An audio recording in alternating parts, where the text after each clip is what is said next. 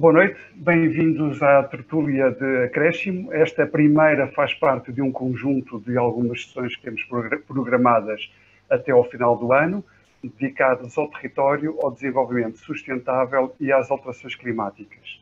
Nesta primeira sessão, o tema enfim, que escolhemos foi que futuro para o território uh, português, tirando partido de um trabalho desenvolvido pelo Instituto Superior de Agronomia. Uh, o objetivo desta tertúlia é ajudar a refletir sobre estratégias de desenvolvimento para Portugal, neste caso em termos de ordenamento do território. A premissa desta reflexão prende-se com o momento presente, de definição de, de políticas, de acordos, de estratégias e planos de recuperação pós-pandemia, onde as questões climáticas e da biodiversidade têm vindo a assumir destaque discursivo. Isto depois se vai traduzir na prática, é, é o que veremos. Para nos ajudar nesta reflexão, um, convidamos a professora Manuela Raposo Magalhães, que é licenciada e doutorada em Arquitetura Paisagista pelo Instituto Superior de Agronomia da Universidade de Lisboa, foi técnica superior da administração pública na área do ordenamento do território, foi também profissional liberal na área de planos e projetos de arquitetura paisagista, professora auxiliar do Instituto Superior de Agronomia, professora convidada do Instituto Superior Técnica, Técnico, foi fundadora e coordenadora do ex-Centro de Estudos de Arquitetura Paisagista, professor Caldeira Cabral, atualmente incorporado no Centro de Investigação em Agronomia, Alimentos, Ambiente e Paisagem do Instituto Superior de Agronomia. Atualmente é coordenadora de vários projetos uh, científicos. Para nos ajudar a moderar o debate que se segue à, à, à intervenção da nossa palestrante convidada, temos Paulo Sofia Luz, jornalista, colabora regularmente no Diário de Notícias e na revista Invasões, trabalhou durante década e meia, um pouco mais, no jornal Região de Leiria, é membro da direção do Sindicato dos eh, Jornalistas. Queria, antes de mais, agradecer a vossa presença, agradecer a presença da nossa oradora e da moderadora e fazer um agradecimento à plataforma de associações da sociedade civil, Casa da Cidadania, a PASCA, da PASC, da qual a Acréscimo é uma das 60 eh, associadas.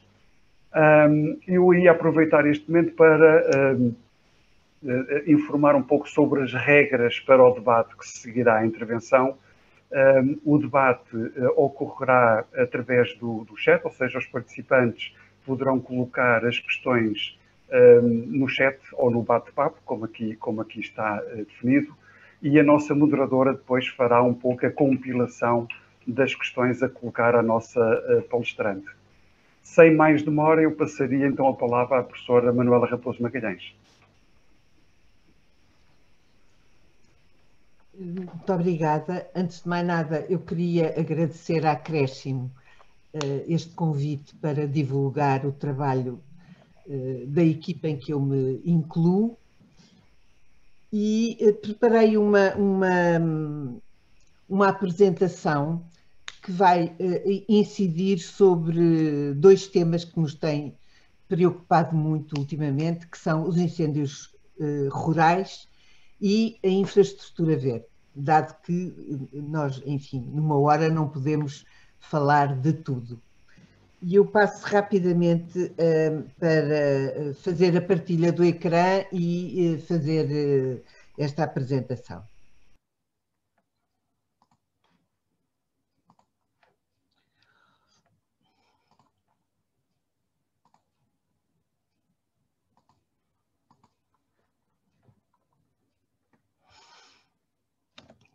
Desculpem isto.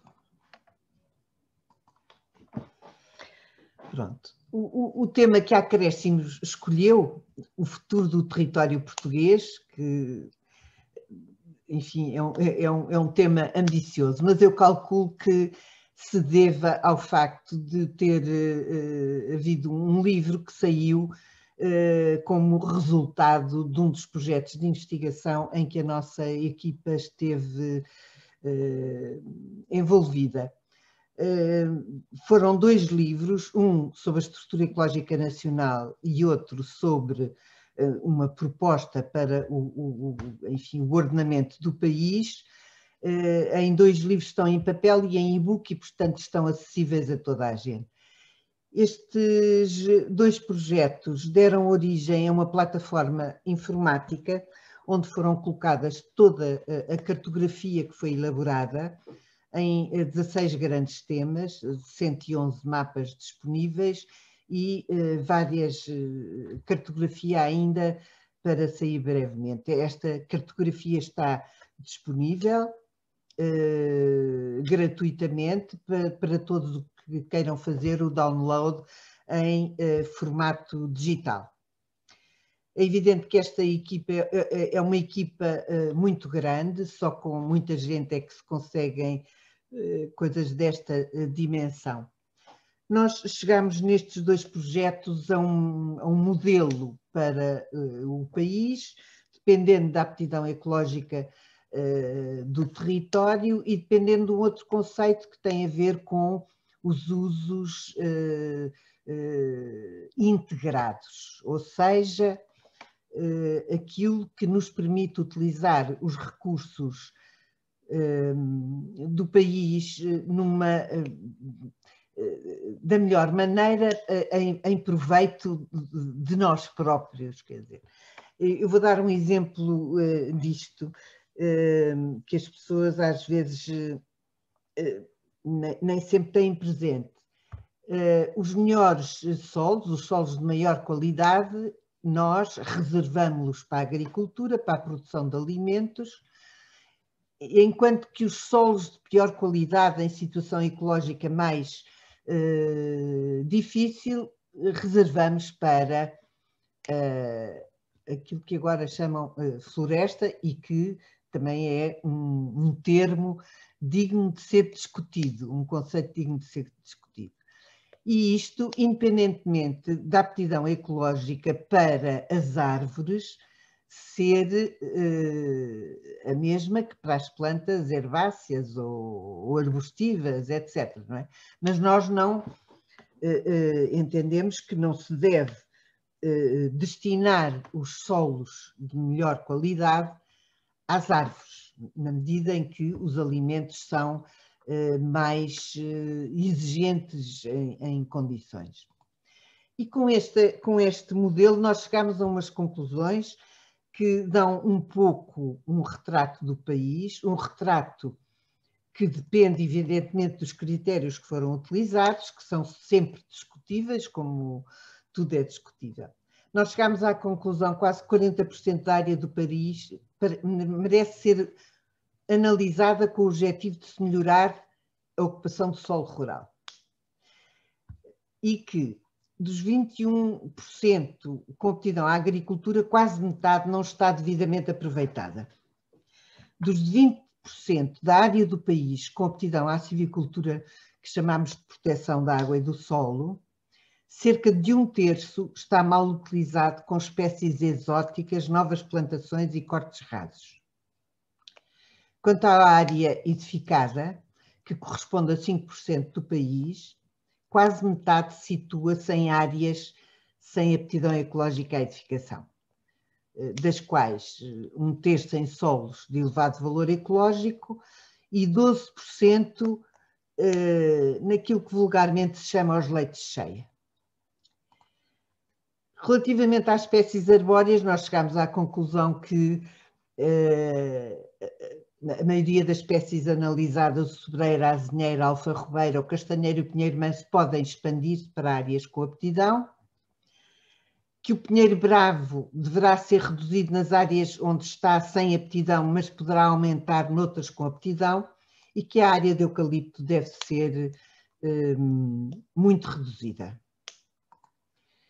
Em relação aos matos, chegamos a uma conclusão em que 62% da área de matos está em condições ecológicas de proteção eh, do solo e da água. Portanto, esta, esta guerra que se desenvolveu aos matos porque se acha que são altamente combustíveis e vão causar incêndios florestais, não tem sempre razão de ser, é só é uma chamada de atenção. Por outro lado, 38% desta área de matos podia ser revertida para a agricultura ou civicultura. Mas vamos falar dos incêndios rurais, sobretudo naquilo que diz respeito ao ordenamento do território e também à, à gestão, e, portanto, naquilo que diz respeito à sustentabilidade ecológica da paisagem. Muito rapidamente vou eh, falar um pouco da, da evolução que uh, o coberto uh, florestal uh, teve em termos de espécies. Se nós olharmos para este gráfico aqui à esquerda, vimos que o amarelo, que é o eucalipto, aumentou enormemente a partir dos anos 70. Ele já estava instalado, mas não com esta dimensão. Por outro lado, o pinheiro, que é este cinzento mais claro, foi diminuindo. Hum? Que o, o, o sobreiro, que, que, é o verde escuro, tem-se mantido mais ou menos, porque, enfim, por causa da cortiça, jogamos nós, e uh, todas as outras espécies têm mais ou menos diminuindo, nomeadamente o carvalho e o castanheiro. Uh, no Inventário Florestal Nacional 2010, uh, o eucalipto já, a área de eucalipto já suplantou a área de Pinheiro Bravo e, portanto, nós temos entre, desculpa,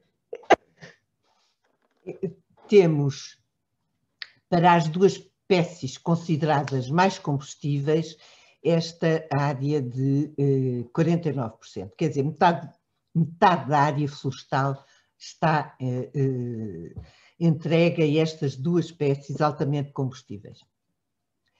Bom, eh, para corrigir isto, interessa saber o que, o, o que fazer, onde, como e com que. Com que normalmente são os, é, é o financiamento, a logística, etc. Não vou falar disso. O que? O que tem a ver com a questão das espécies a utilizar e há duas, eh, enfim, há vários argumentos que circulam por aí. Um é de que tudo arde igualmente, desde que haja fogo, tudo arde. Eh, e nós, eh, enfim, chegamos à conclusão de que isso não é verdade. As diferentes espécies ardem de maneira diferente. Aliás, a própria, eh, isso é aquilo que resulta da eh, eh, observação empírica e também de alguma literatura que nós consultamos, nomeadamente esta que é, é, um, é uma referência portuguesa e que chega à conclusão de que, por ordem decrescente, aquilo que arde mais é o pinheiro bravo, a seguir o eucalipto, folhosas não especificadas, coníferas não especificadas, depois o sobreiro, o castanheiro e finalmente a azinheira. Portanto, de facto, não é verdade que tudo arde da mesma maneira. A questão do onde.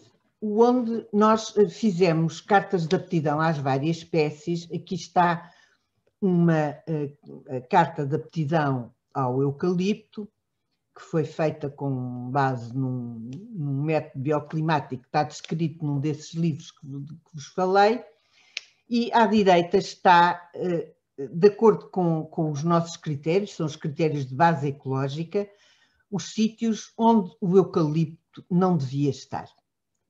Portanto, a questão do onde eh, deve ser também desenhada de, de acordo com a aptidão ecológica. Depois, como? Como, enfim, já toda a gente, felizmente, isso tem passado, essa informação, tem que se fazer qualquer coisa, tem que se mudar a paisagem, construir uma paisagem menos combustível. Eh, o governo lançou os planos de transformação da paisagem, eh, a nosso ver, muito bem. Agora resta saber, e achamos que isso não foi discutido, com que metodologia já há um plano, que é o plano de mação, são cinco, cinco ou seis conselhos daqueles que herderam mais ali à volta de uh, mação, oleiros, etc. Já foi lançado concurso, já há uma equipa que se vai encarregar desse plano, mas a metodologia não está definida. E nós temos uma proposta, porque temos trabalhado no âmbito de um, de um projeto de investigação chamado Escape Fire, e estamos a desenvolver um modelo a que chamamos Fireland. E é esse modelo de que lhes vou falar. Este modelo baseia-se em alguns pressupostos, um, dos quais o, o, a influência do topoclima no comportamento do fogo para nós, enfim, nós achamos que é eh, importante porque, eh, eh, porque recomenda determinada maneira de atuar. Nomeadamente, isto diz, é uma coisa que já os bombeiros todos, todas as pessoas que lidam com o fogo sabem, que o fogo sobe a vertente a uma velocidade muito grande que depende do declive, eh, aumenta enormemente com o declive. Quando chega à comiada ou ao planalto, que está nesta zona, ele tende a parar, se o fogo não for daqueles mega focos absolutamente incontroláveis, tende a parar e uh, uh, começa a lavrar ao longo da vertente no sentido do menor declive. Isto foi o que aconteceu uh, em 2017, naqueles três primeiros conselhos, uh, Figueiró dos Vinhos, Pedrógão, Castanheira de Pera, mas que depois se... Um, eh, isto é a bacia hidrográfica do Zezer, estas são uh, acomeadas, são as zonas de maior altura de, dessa bacia hidrográfica, viu neste sentido e depois começou a lavrar no sentido do uh, North Cliff. E então aquilo que nós dizemos é que é preciso criar uma estrutura básica do ordenamento do espaço rural, uh, que deve integrar a estrutura fundamental de conservação da paisagem, que nós temos designado por estrutura ecológica, e que, no nosso entender, é praticamente equivalente àquilo que a infraestrutura verde que é agora proposta pela União Europeia, eh, é praticamente a mesma coisa, e uma estrutura de proteção da própria mata, ou seja, proteção contra o fogo. E aquilo que nós propomos é que seja criada uma estrutura que tenha, que seja construída com elementos que são resistentes, mais resilientes ao fogo. Esses elementos tanto podem ser vazios como eh, folhosas, que são as que mais resistem ao fogo, como pastagens, como agricultura, como, digamos que aquilo que se pretende é a criação de uma estrutura que seja mais resiliente ao fogo. Esta, isto é a imagem de uma bacia hidrográfica, é eh, uma estrutura que uh, incida sobre a cabeceira, basicamente, e depois sobre as linhas de água, fundos de vale, eh, que são eh, mais importantes ainda, segundo a literatura, do que as próprias eh, cabeceiras. Se a vertente for muito comprida, tem que se aumentar esta estrutura da meia encosta. Isto dá um esquema eh, conceptual que, no fundo, eh, é este, pode não ser fácil de perceber, aqui é a linha d'água, aqui são as duas comiadas, eh, no sentido transversal a este tem que se criar, de facto, elementos da estrutura para quando o fogo lavra ao longo da, da encosta, e depois, no sentido do maior declive, dependendo da, da, extensão da vertente e do declive tem que se criar outros elementos no sentido do menor declive. Há outra uh, estrutura que complementa uh, esta, é aquilo que em inglês chamam swale e que nós podemos designar por vala de infiltração, que aumenta enormemente a, a, o caudal de água existente na própria bacia hidrográfica e pode criar um, eh, sistemas lineares que são fortemente resilientes ao fogo. A, esta, a estes elementos podem e devem acrescentar-se pequenas charcas que uh, ajudam a infiltrar, a reter água e a, esta é uma imagem, nós tentámos encontrar uma imagem que correspondesse a esta ideia e encontramos esta para o Japão. Não sabemos exatamente se ela foi eh, originada na, nas nossas preocupações da proteção do fogo. De qualquer modo, nós sabemos que aquilo que nós propomos, eh, no fundo, corresponde um pouco a isto. As grandes cabeceiras cobertas de folhosas com também podem ter pastagem, também podem ter agricultura, desde que haja um planalto e, e solos que, que, adequados, mas esta é uma, é uma imagem que nos tem ajudado a passar a ideia. Encontramos na literatura, não encontramos nada eh, parecido com isto, à exceção deste guia eh, prático eh, feito em Edimburgo, eh, é um guia oficial que utiliza as folhosas, de facto, para estabelecer uma estrutura de proteção contra o fogo. Eles não localizam essa estrutura eh, como nós localizamos em função da morfologia do terreno e do comportamento do fogo, mas, enfim, o princípio é o mesmo. E agora vou-lhes mostrar um plano que fizemos para um artigo que estamos ainda a acabar de escrever para os três conselhos, os primeiros três conselhos que arderam em 2017. Figueiró, Pedrógão e eh, Castanheira de Pera. São estes três conselhos que abarcam esta, esta área. E este é um, um é um pormenor, uma ampliação, um zoom feito eh, nesta área. Isto representa eh, a grande estrutura, digamos, que teria que ser, ou que nós propomos que fosse implantada. Estas são as áreas intersticiais dessa estrutura, a que nós chamamos áreas complementares, que também têm que ser eh, caracterizadas do ponto de vista ecológico para decidir quais são as espécies que eh, mais adequadas e que eh, protejam contra o fogo.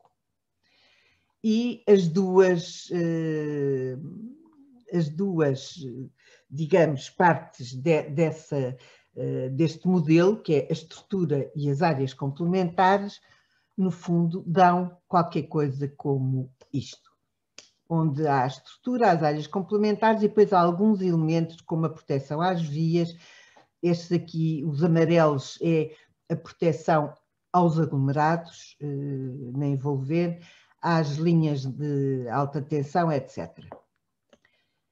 As áreas que nós chamamos de baixo valor ecológico, ou seja, aquelas que não têm nenhuma exigência que obrigue a, uma, eh, eh, a um revestimento particular são, neste caso, porque estamos a tratar de uma área extremamente declivosa e, portanto, muito condicionada, andam à volta dos 5,7%.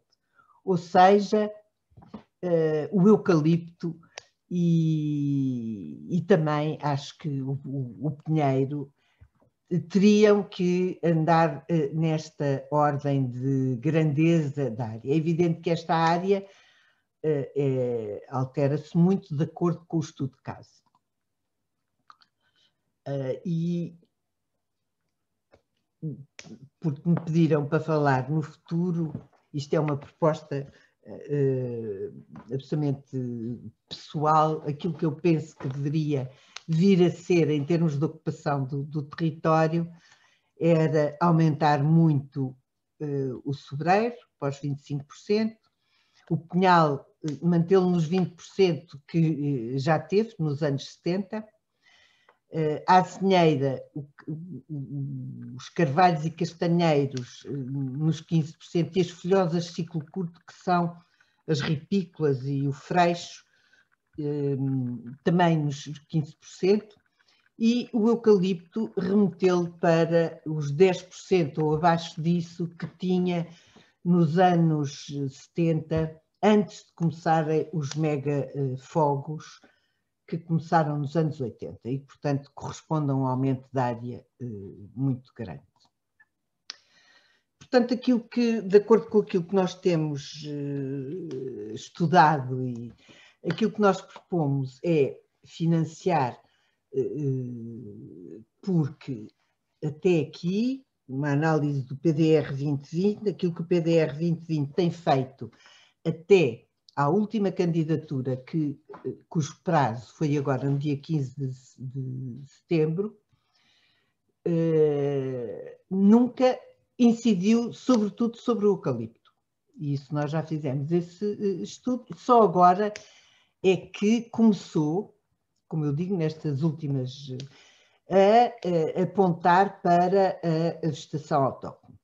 Portanto, era financiar carvalhos castanheiros e, sobretudo, o freixo, em regeneração à plantação, e eh, em vez do pinheiro e do eucalipto. Financiar a adaptação da indústria à transformação destas espécies, financiar a agricultura familiar e a pastorícia e apoiar os baldios, limitar os perímetros dos aglomerados urbanos e das aldeias. E delimitar a área eh, de proteção da sua envolvente, que deve ter agricultura ou folhosas, incentivar a investigação de carvalhos, castanheiros, pinheiro manso, freixo e outras folhosas. Nós sabemos que em Portugal a investigação nesta matéria tem incidido sobretudo sobre o eucalipto e o pinheiro e alguma coisa sobre o sobreiro. E financiar práticas de manutenção, como roça de matos, caminhos, etc. Isso a PAC nunca o fez, só agora é que está a fazer indiretamente, mas não explicitamente. Portanto, tudo isto que se fala da discussão dos matos tem, eh, tem de facto que ser eh, apoiado. Espacializar os incentivos de acordo com, com, com, as aptidões ecológicas, portanto, com o plano, eh, como sabem, os incentivos da PAC são dados por medidas, mas não são espacializados, quando muito diz que nesta ou naquela freguesia tem privilégio este ou aquele, esta ou aquela medida. E privilegiar também os incentivos à criação de serviços, de empresas de serviços florestais, eles queixam-se muito, às vezes não têm alvarás, à criação de associações de proprietários e rendeiros, o cadastro e a reforma fundiária, eh, o governo está, eh, parece mostrar vontade em, em fazer isso, e a reforma fiscal, nomeadamente a revisão do IMI. Eh, diz-se que, ou pensa-se que o IMI no solo rural é sempre baixo, isso não é verdade, porque cada vez que há uma mudança de titularidade ou por partilha ou por compra, eh, compra e venda, um, há uma reavaliação do valor patrimonial tributável e essa reavaliação nos últimos anos tem sido muito pesada. Eu não sei, eu acho que já ultrapassei o meu tempo, não foi? Foi. Portanto, eu ficava por aqui olha, e deixamos o, o, tema da infraestrutura verde para outra altura. Está bom? Muito obrigado. Muito bem.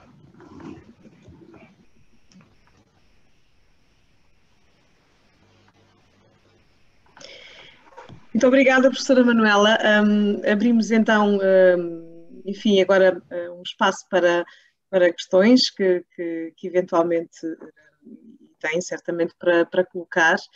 Um, enquanto, enquanto não se aventura o, o primeiro, aqui não, não é preciso chamar-lhe corajoso, porque, uh, enfim, as perguntas serão feitas no chat, não é? Portanto, não tenho que falar, o que é uma grande vantagem nestes, nestes debates. Um, eu ia só fazer uma questão à professora Manuela Magalhães, um, perguntar-lhe um, muito do que, muito do que, do que nos disse e muito do que é este, este plano defendido para, para aquela região nordeste do distrito de Leiria, traz-nos, uh, traz consigo muitas verdades que fomos ouvindo ao longo destes, uh, ao longo destes últimos anos, sobretudo depois do, do, do grande incêndio de junho de 2017. Um, ia só uh, perguntar-lhe, um, na sua opinião, como é que conseguimos um, financiar a agricultura familiar uh, e as práticas de manutenção, enfim, tudo aquilo que defende uh, nesse, nesse plano, sem pessoas. Ou seja, como é que levamos as pessoas para os conselhos afetados pelos incêndios? Muito obrigada pela pergunta. Essa é uma questão que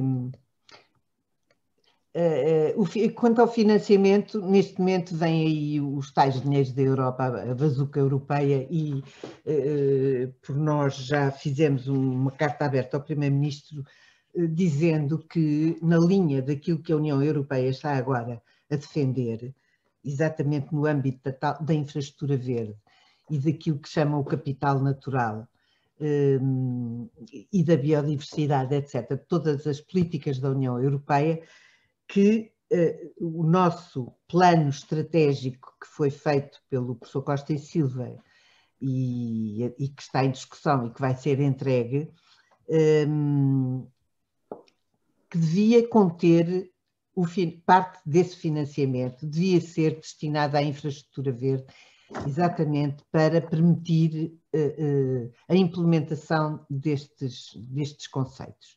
Isto é uma questão em relação ao financiamento. A outra coisa que lhe queria dizer é que se ficaram com a ideia que este, o plano eh, que foi aplicado a estes três conselhos é absolutamente replicável em qualquer outra morfologia. Evidentemente que há de gerar uma imagem diferente e uma aplicação diferente, mas ele é, é replicável, porque os conceitos que estão uh, subjacentes, no fundo, são aqueles que, enfim, que nós queremos uh, uh, defender.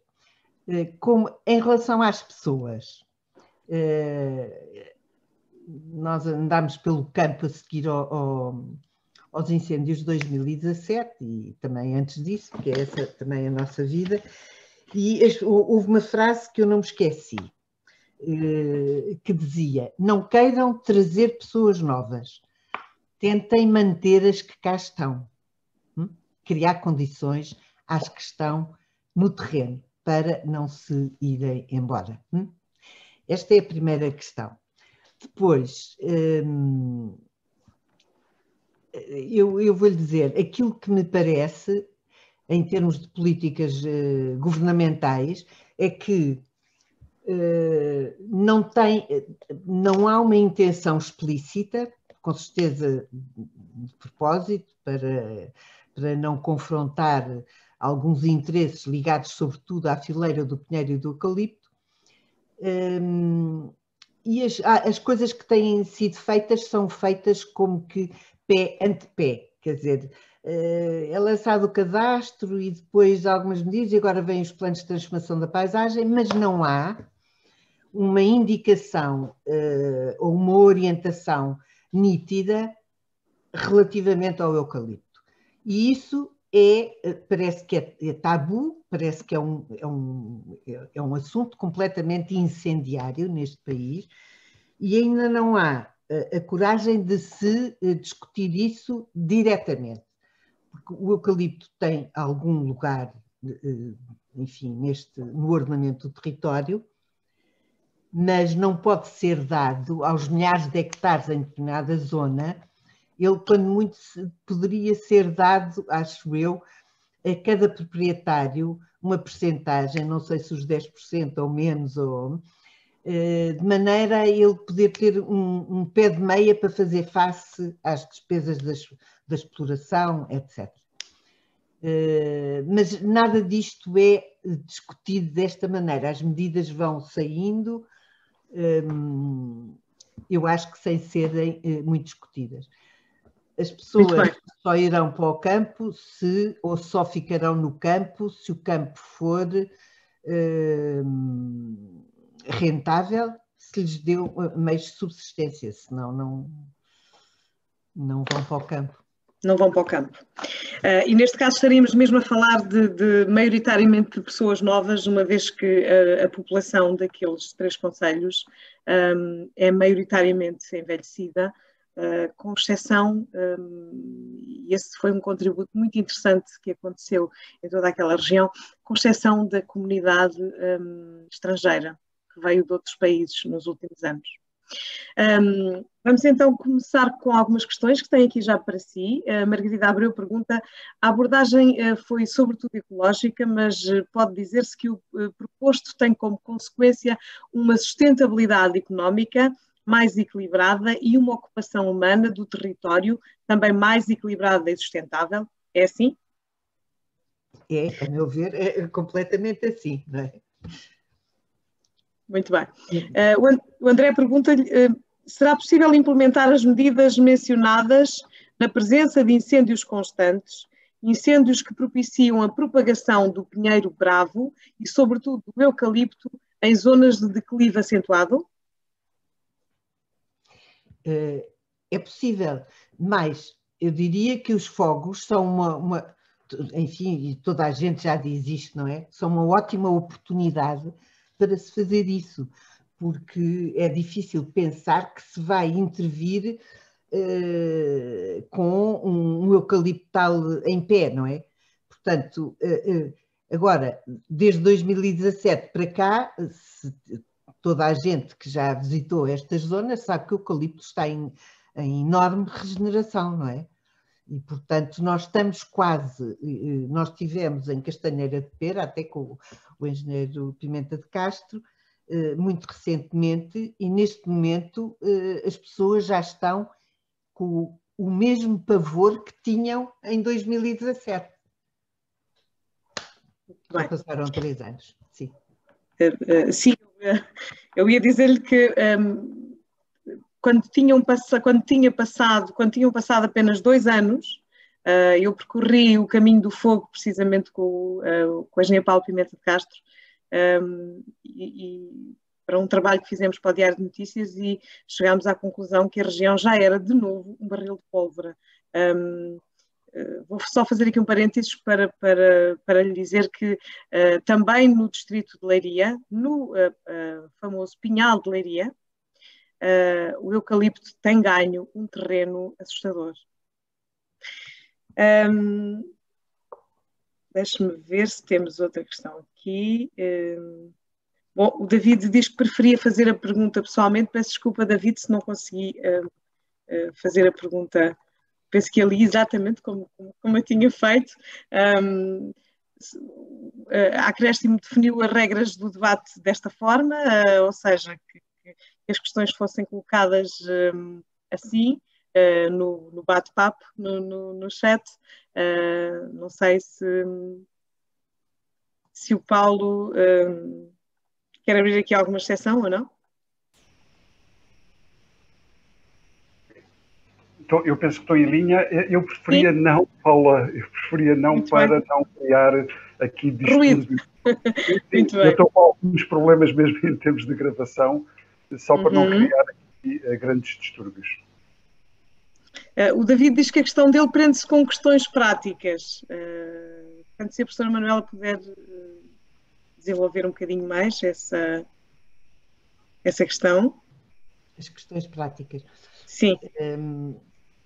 Como é que se consegue operacionalizar estas questões no terreno? Ah, como é que se consegue? Olha, eu acho que praticamente já tudo tem sido falado.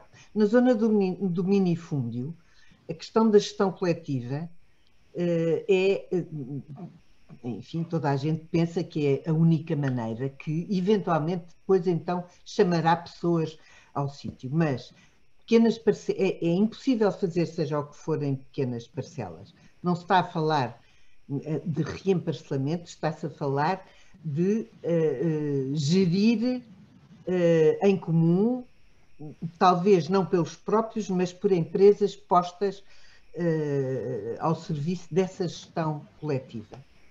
Agora, a gestão coletiva tem que ter um, um plano uh, e, e, depois tem que o seguir. E é, é, isso, nós estamos numa fase em que nem sequer o plano está uh, definido, não é?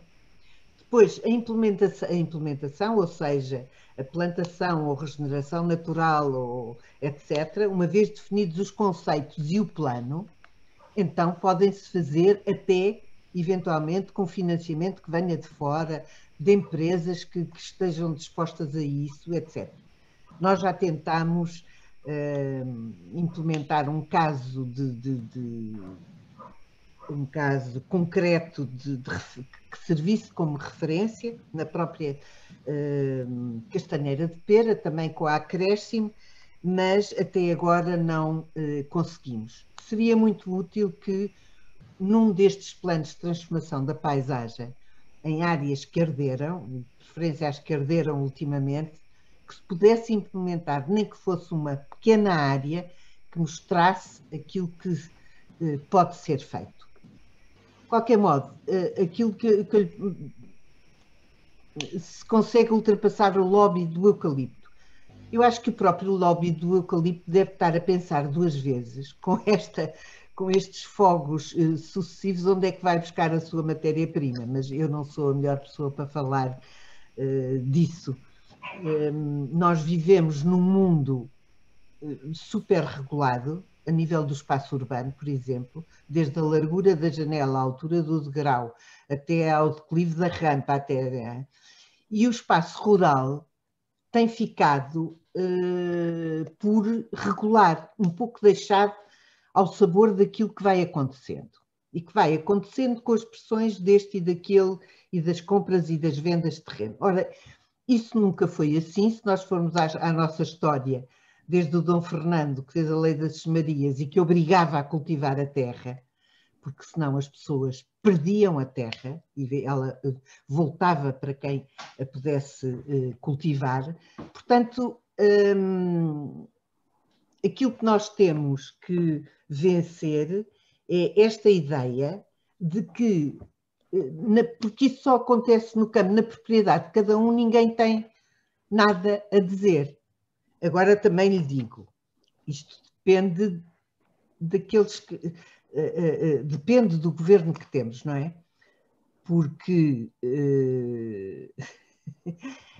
eu própria sou empresária florestal e, e, portanto, tenho acompanhado o desenvolvimento de tudo o que são as medidas da PAC, nomeadamente agora do PDR 21, e até há muito pouco tempo ainda, por influência das políticas anteriores, só eram aprovados os projetos eh, relativos ao eucalipto, porque eu própria me candidatei a outras coisas, como sobreiro, freixo, tudo aquilo que penso, e esses projetos foram, eh, foram chumbados.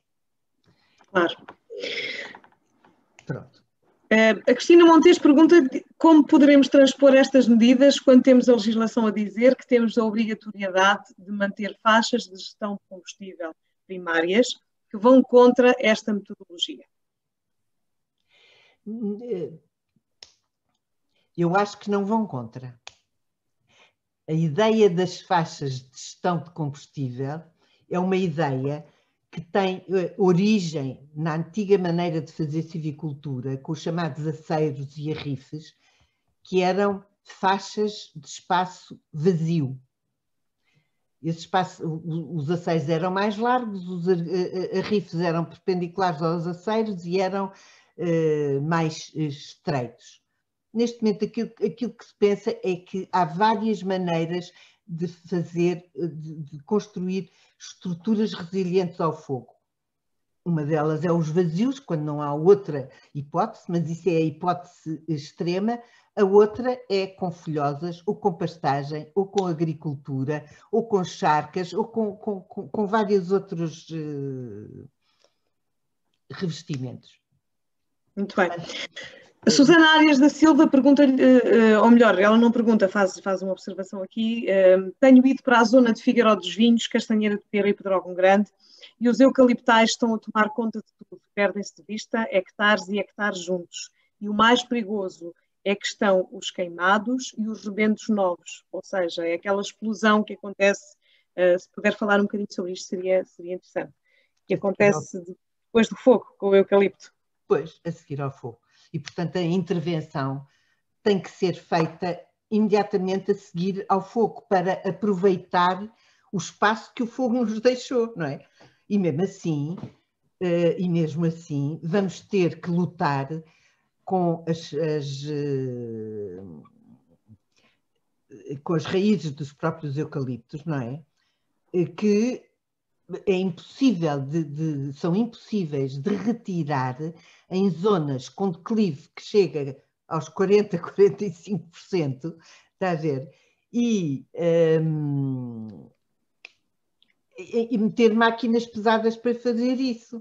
Portanto, nós estamos até com a Universidade de Coimbra a tentar uh, inventar outro sistema que por enquanto não foi ainda experimentado, mas já fizemos os contactos, eh, entretanto veio o Covid, que é um, um sistema que foi utilizado pelo padre Himalaia, não sei se sabe, foi um dos primeiros, considerados os primeiros ecologistas portugueses, foi a utilização de explosivos para a abertura de covas na plantação de uh, serras muito degradadas. E a, a, nossa ideia é que esses explosivos poderiam eventualmente ser utilizados para as toiças do, do, dos eucaliptos, eh, destruí-las e, e, e, permitir que elas decompusessem. Hum? Pronto. Portanto,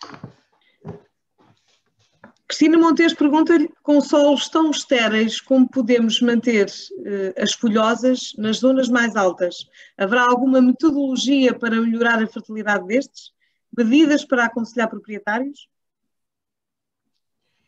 Metodologias há sempre, porque de facto uma das nossas uh, maiores preocupações é na zona, eh, na Comiada e no Planalto, quais são as folhosas ou as tais espécies eh, eh, resilientes ao fogo. A primeira é o sobreiro, que não precisa de grandes. O sobreiro, quando tem cortiça, é considerado uma espécie altamente resiliente ao fogo. Quando se tira a cortiça, há um ano de, de, de perigo, de risco, mas logo a seguir, quando ele começa a formar uh, cortiça, uh, ele funciona como uma espécie resiliente ao fogo. Aliás, quando a copa às vezes é, uh, arde, a maior parte das vezes ele regenera. Essa é uma. O outro é a utilização do castanheiro. O castanheiro tem, já tem variedades resistentes à, à tinta, que foi a grande eh, digamos, eh, epidemia do castanheiro que, que, o retirou das nossas paisagens, e nós podemos e devemos utilizar o castanheiro muito para além daquilo que é a ideia de que o castanheiro é lá de cima só para o norte, não é? Há muitos sítios, estamos neste momento neste projeto do Scape Fire, a trabalhar com a Universidade, com o TAD, uh, e uh, com um especialista em castanheiro para nos fazer uma carta de aptidão ao castanheiro para exatamente eh, poder expandir isso. E depois há uma, uma quantidade de outras espécies que nós temos que eh, ir desenvolvendo e até a nível arbustivo, quer dizer, agora hum, que são muitas vezes incluídos na agricultura, mas desde o medronheiro que está já a crescer. E a ser, por exemplo, na Pampilhosa da Serra, que ardeu, estão a fazer plantações de medronheiro, apanhar o medronheiro e a mandá-lo em barris para o Algarve para fazerem aguardente de medronho e dizer, dizendo que é algarvia. Portanto, uh, o medronheiro, o pistácio, que é uma espécie também que um, tem algumas exigências, mas também de, de, frio, mas já há variedades, portanto, há, há a preocupação. A questão é esta, é assim, a questão é que as pessoas têm que admitir ou não que há um conceito, o paradigma deve mudar completamente e que se tem que enverdar por outra coisa. E então aí vamos trabalhar para essa outra uh, forma de fazer. Muito bem. Henrique Faria pergunta-lhe como mudar o tipo de floresta se a maior parte dos terrenos estão na posse de privados. Se estes não quiserem mudar e continuar a plantar eucaliptos, quem os pode impedir? acho que até são encorajados. Alguns são encorajados, é, foi a, última. Pois já falei disso, não é? Até há muito pouco tempo, de facto, foram completa, a chamada Lei Cristas, estamos aqui, a, a Lei Cristas foi uma lei que favoreceu o aumento da área de eucalipto e criou essa. Portanto, eh, mais uma vez, é isso. Depois, essa ideia de que os proprietários privados podem fazer aquilo que querem, isso nunca aconteceu na vida em lado nenhum, a não ser com esta, este uh, neoliberalismo que só se aplica ao solo rural, porque no urbano nós continuamos a ter todas as a, a regulamentação uh, a propósito de todas as questões de pormenor, não é? é, é tal falta de regulação de que falava há bocadinho. É, tem que ser, as coisas têm que ser reguladas, mas é evidente que elas só vão ser reguladas desde que o poder político queira. Tenha essa intenção. Muito bem. A Sónia Guerra pergunta: na Mata Nacional de Leiria, o comportamento invasor do eucalipto, lá está, um, está a ocupar sobretudo extensas áreas nos corredores ripícolas, antigas áreas de recreio e lazer, definidas no próprio. Um, peço desculpa, Sónia, uh, o PGF, vocês estão mais familiarizados com, esta, com, estas, esta terminologia? PGF ou PGF, será? E PGF, PGF será? Plano de Gestão Florestal. Plano de Gestão Florestal, ok, muito bem. Um, com pinhais privados limítrofes que também arderam. Haverá algum instrumento, apoio dirigido a privados que hoje se deparam com os seus antigos pinhais invadidos por uma espécie com um comportamento um, que não escolheram plantar e em pinhais privados limítrofes? Se há a hipótese de fazer essa regulamentação. Tanto quanto eu sei, hum, que é a informação que vem na comunicação social, o Pinhal de Leiria foi entregue uh, uh, até ao ISA, em determinar um plano para a transformação do Pinhal de Leiria. Já ouviu falar desse plano? Eu não ouvi. Pode ser que alguém o conheça. Portanto, aquilo que se tem que começar por discutir. Se a Sónia é... não ouviu, dificilmente, peço desculpa, professora. Se a Sónia, que é tão conhecedora daquela região, não ouviu, dificilmente alguém ouviu. Então, eh, se esse plano foi para, foi para o ar, eh, as pessoas têm que exigir conhecer o plano. Começa por isso, não é? E depois vem toda a necessidade de financiamento pela PAC, agora PDR 2020 e depois 2030, para ajudar os, os proprietários a, a intervir a, a, ideia de que uh, as coisas não funcionam porque os proprietários são privados, eu que também sou proprietária privada, estou absolutamente contra essa ideia. Porque o Estado, o Estado que detém o Pinhal de Leiria, evitou alguma coisa. Uh, aquilo que tem feito ao longo destes tempos, eu não estou a dizer que agora o esteja a fazer, foi desmantelar completamente a estrutura, nomeadamente dos serviços florestais, guardas florestais, etc., que geriam as matas nacionais. Até houve uma altura em que pensaram privatizar o Pinhal de Leiria, não sei se... se... Sim, sim, sim. Portanto, as pessoas que votam têm que ter muito cuidado em quem votam e perceber o que é que isso implica, não é? Agora, na PAC, os proprietários privados têm que ser ajudados e neste momento é aquilo que temos estado a, a pensar, a transição do paradigma do pinheiro e do eucalipto para os carvalhos, os castanheiros e uh, mais agricultura tem que ser financiada pelo menos durante os primeiros 20, 30 anos. E, e também o financiamento à instalação, porque tudo isto é, está a ver, de resto, não é financiado nem a Roça dos Matos, nem o Arranjo dos Caminhos. Só agora, como eu digo, nesta última candidatura é que começou a haver financiamento diretamente para isso. Uh, portanto, isto é, é, mesmo uma questão, é uma questão de, de política, de pôr as coisas a funcionar. Henrique Faria diz eh, precisamos de uma lei nacional, portanto, que regule o que plantar e onde isto não será considerado autoritário contra a iniciativa privada? Por mim, não seria. É uma questão de sobrevivência nacional. E por si, professora Manuela? Então, nós vivemos com planos, já reparou, eu não sei se, desculpe, eu nunca sei quem é que está a falar. Henrique Faria. Henrique Faria. Nós temos um sistema de planeamento em que planos não nos faltam E esses planos obrigam os particulares. O PDM acaba por. É, é onde é vertido todas as, as, eh, as regras que acabam por vincular os particulares. Portanto, vinculados nós já estamos. Eu tinha aqui na apresentação um caso para para o, plano, para o Conselho de Leiria, porque sei que a senhora jornalista é jornalista do, do Jornal de Leiria, e então, eu, para demonstrar isso, a confusão que vai em matéria de planos, em matérias de estruturas, em matéria de regimes, é completa.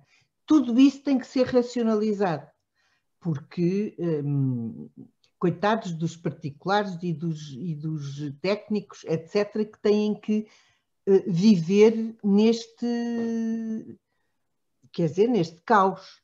Se quiser, eu mostro-lhe esse exemplo de Leiria, para mostrar como é que é. Do Conselho, especificamente? É, de, é só de uma parte do Conselho, não, não é do Conselho todo. Mas nós, no Scape Fire, um dos casos de estudo é o Conselho de Leiria. Uhum. Muito bem. Um, há uma questão que ficou aqui um bocadinho. Um, foi o André uh, que a colocou, penso eu, um, e que queria saber se a carta de que falou, enviada ao governo, se obteve resposta. O André ou o David, agora já não tenho certeza que não consegui encontrá-la exatamente aqui. Peço desculpa aos dois, ou então vamos assumir que os dois gostariam de fazer a mesma pergunta. A carta aberta foi publicada no público uhum.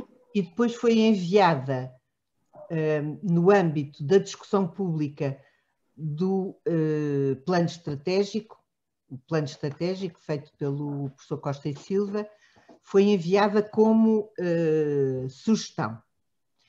Nós já vimos a primeira versão do plano estratégico, e uh, há lá uma meia, meia, meia linha, digamos, que fala da infraestrutura verde.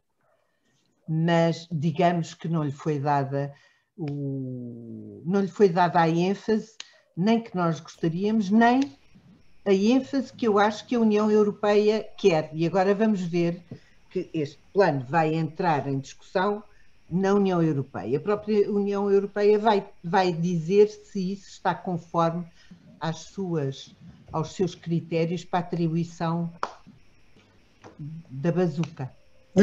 Da bazuca, vamos chamar-lhe assim. Um, a Cristina Montes pergunta se acha que será possível fazer uma recuperação florestal no atual contexto político. No atual contexto político. Um... Ah, peço desculpa, uma uh, perequação. Ah, perequação. Sim. Um... Aquilo que eu acho é que, em vez da perequação, mas chamem-lhe o que quiserem, nós vamos ter que enverdar pelo pagamento dos serviços de ecossistemas.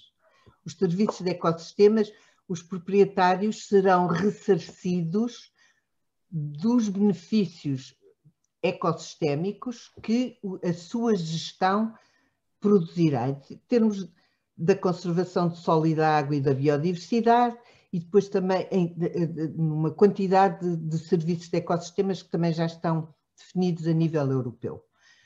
Por aí é que eu acho que nós havemos de ir, quer dizer, é, eh, e temos um caminho a percorrer que tem a ver com a cartografia dos serviços de ecossistemas, com a quantificação dos serviços de ecossistemas, que não é fácil, etc. Já há várias equipas a trabalharem nessa matéria. Muito bem. Uh, estamos quase a chegar ao fim desta tertúlia. Uh, não sei se mais alguém tem um, alguma questão que queira colocar uh, à professora Daniela Magalhães, ou deixar, enfim, alguma alguma sugestão, não sei. Um, enquanto isso, eu ia só. Sim, o André pergunta: não corremos o risco de que a plantação de eucalipto seja incorporada na definição de serviço de ecossistema? O lobby tem-se batido por isso, alegando que o eucalipto é uma das árvores que mais carbono capta.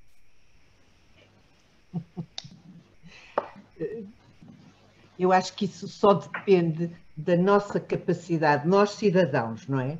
de nos organizarmos para fazermos eh, pressão uh, neste ou naquele sentido, no sentido daquilo que acreditamos, não é?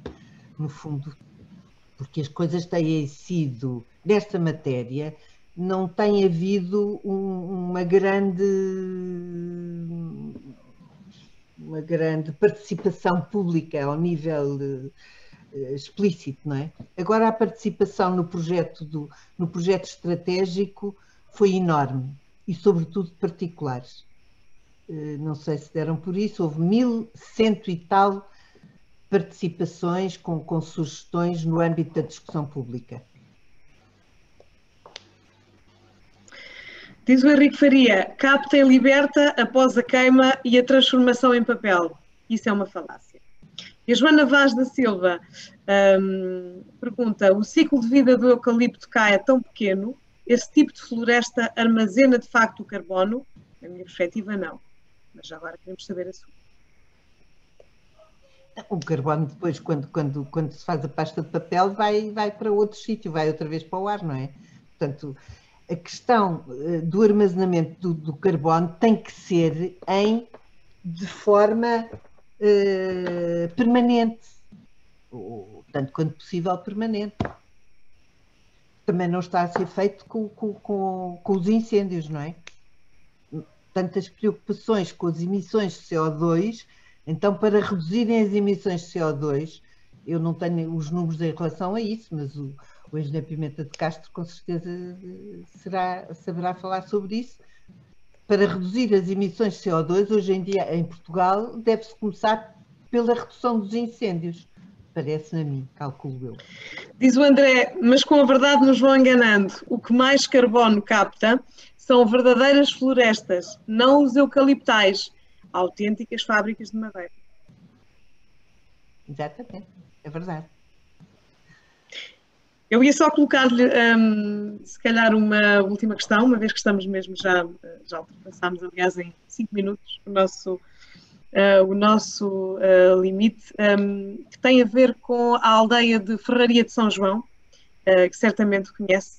Um, e enquanto ouvia apresentar, enquanto, enquanto, assistia à apresentação desse vosso plano, hum, lembrava-me dessa aldeia que, depois de um grande incêndio, um, decidiu um, arrancar tudo quanto era eucalipto à volta, pelo menos nos 100 metros à volta da aldeia, um, e que estando na fronteira entre Penela e Figueiró dos Vinhos, desta vez, precisamente à conta dos, dos, dos sobreiros e de, de, outras espécies folhosas, como, como disse na sua intervenção, saiu incólume.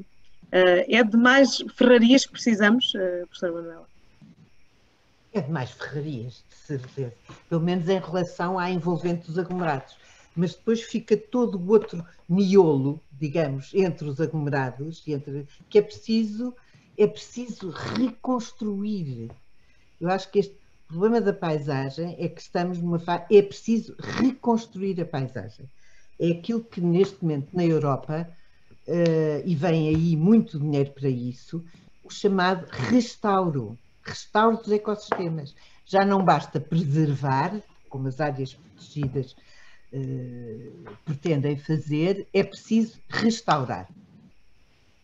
Muito bem. Antes de passar a palavra uh, ao engenheiro Paulo Pimenta de Castro, um, vou, uh, acho que é uma, uma excelente forma de, de, encerrarmos este, este leque de questões. Um, diz o Henrique Faria que as árvores captam mais eh, CO2 quando atingem a maioridade e ficam, cap, e ficam por cá muitos anos. Não é de todo o caso do eucalipto. O eucalipto tem de ser tratado como uma monocultura. E a Sónia Guerra conclui: uma monocultura não é uma floresta. E agora, se calhar, passava a palavra ao Paulo Pimenta de Castro. Muito obrigada a todos.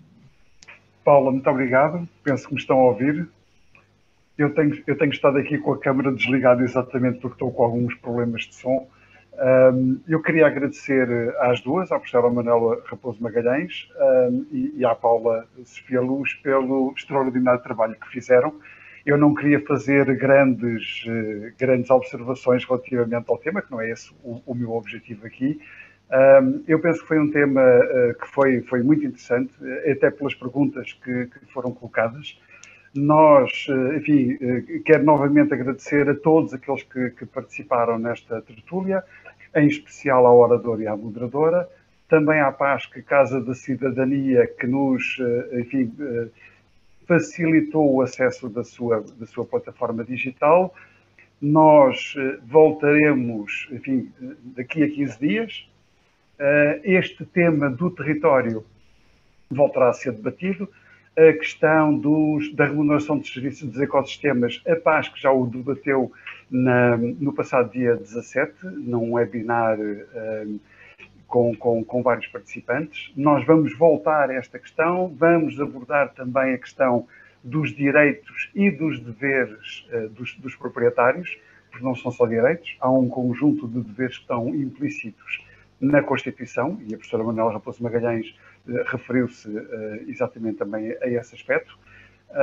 não estão no, famoso artigo 62 do direito de propriedade, mas depois lá para, lá para baixo dizem claramente que há restrições um, efetivamente, eh, se a propriedade é de proprietário, o território é de nós todos, não é? Portanto, temos que, eh, que estabelecer aqui um casamento feliz, eh, que neste momento não é. Um, e nesta matéria, já que foi tratada a matéria dos incêndios, Portugal registra este ano, até agora, a segunda posição em área ardida na União Europeia. E, portanto, andamos sempre nos lugares do topo, não raras vezes em primeiro lugar, este ano estamos, de facto, em segundo. Obviamente que as condições meteorológicas, eh, apesar de tudo, até, até nos foram favoráveis. Um, senão, efetivamente, a situação poderia ser bastante pior. Como dizia, uh, quero, quero agradecer a todos os que participaram. Quero um, referir que daqui a 15 dias vamos tratar de um tema ligeiramente uh, diferente. Vamos tratar não dos espaços rurais, mas dos espaços urbanos e do papel que os espaços verdes têm exatamente em meio rural. Lembrando que um, nos próximos anos as populações uh, urbanas vão aumentar exponencialmente e, portanto, uh, a importância dos espaços verdes é, é, vital. Vamos debater esta questão com a professora Cristina Branquinho, da Faculdade de Ciências da Universidade de Lisboa. Eu queria agradecer a todos uh, mais uma vez e até daqui a 15 dias. Obrigada. Muito obrigado, então. E boa noite. E, boa noite a todos. Tá.